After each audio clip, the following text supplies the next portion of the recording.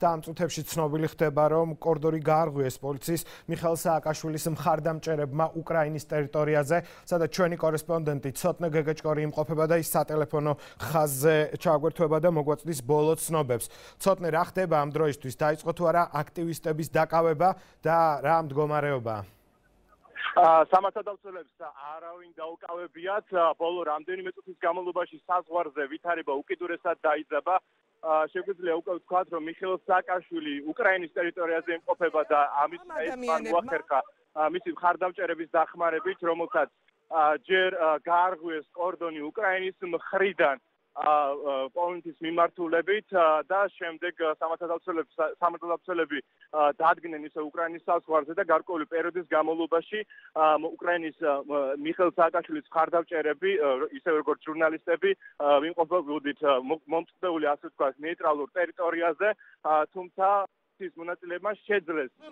უკან დაბრუნებულ მართის მონაწილეებმა შეძლეს ისე კორიდორის გარღვევა უკრაინის მიმართულებით და მიხეილ სააკაშვილთან ერთად შემოვიდნენ ქვეყნის ტერიტორიაზე.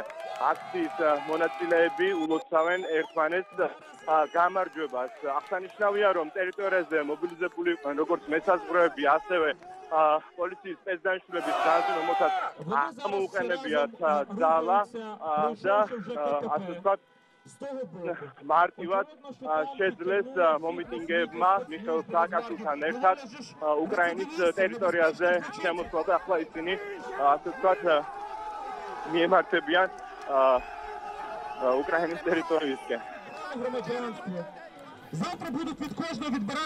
ცოტნე რა განცხადებები კეთდება შეგიძლია თუ არა გითხრა რა ბედიელის მიხეილ სააკაშვილს ახლა იყო ერთი ვერსია რომ მას დააკავებდნენ და მეორე ვერსია რომ იძულებით დაატოვებინებდნენ უკრაინის ტერიტორიას თუ რა თქმა უნდა მოახერხებდა და გადაკვეთდა საზღვარს. ირაკლი იქიდან გამომდინარე რომ საკმაოდ მძიმე ვითარება იყო შექმნილი ტერიტორიაზე. ჩვენს ასე ვთქვათ, შეგვექნა პრობლემები რადგან ვიმყოფებოდით ასე ვთქვათ ნეიტრალურ ტერიტორიაზე და ახლა მე ვცდილობ რომ მიუახლოვდე იმ ადგილს სადაც იმყოფება ექს-პრეზიდენტი მიხელ სააკაშვილი. ასე ვთქვათ მე მომიტინგებს მიუყვები უკან და შეგვიძლია ვთქვათ რომ სამხედროები არსად არ ჩანან.